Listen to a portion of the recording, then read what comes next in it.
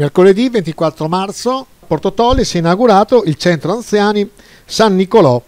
con la presenza di autorità civili e religiose, Sua Eccellenza il Prefetto Dottoressa Maddalena De Luca,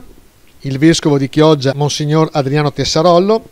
l'assessore al territorio, cultura e sicurezza della Regione Veneto Cristiano Corazzari, l'ex presidente della conferenza dei sindaci Franco Vitale e il nuovo presidente, il sindaco di Lusia Luca Prando. A fare da padrona di casa il vice sindaco Silvana Mantovani, che ha descritto sia le peculiarità sia l'impegno del comune, impegno già iniziato con le passate amministrazioni Finotti e Bellan. Un bel gesto di galateo istituzionale è stato da parte del vice sindaco Mantovani dare la parola all'ex sindaco Claudio Bellan. È una residenza che propone agli ospiti cure mediche, sostegno nelle attività di tutti i giorni, risposte ai bisogni della vita quotidiana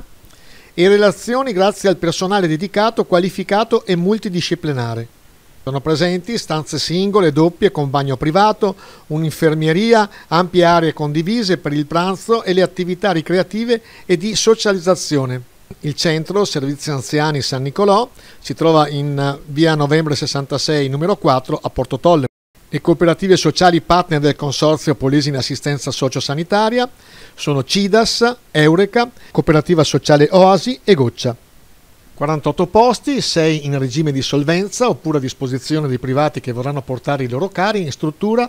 e 42 in accreditamento con il Servizio Sanitario Nazionale. Chiudiamo con le parole del sindaco Roberto Pizzoli etico, non è, oggi non è la giornata né delle medaglie né di essere bravi, né, oggi è la giornata che ogni amministratore, come mi hanno insegnato quando mi sono approcciato alla politica, che non è assolutamente il male assoluto del mondo, ma è un servizio da cercare di fare il bene per il prossimo, è quello di migliorare la qualità della vita della propria popolazione. Noi abbiamo una mission e la mission è migliorare la qualità della vita di ogni nostro singolo cittadino. Quest'opera qua è la costruzione, è il disegno di quella che è la nostra mission, mission che oggi per quanto riguarda la casa di riposo, ma abbiamo visto il polio scolastico, tutto ciò che nelle amministrazioni che si sono succedute abbiamo voluto fortemente che portasse il suo saluto anche l'ex sindaco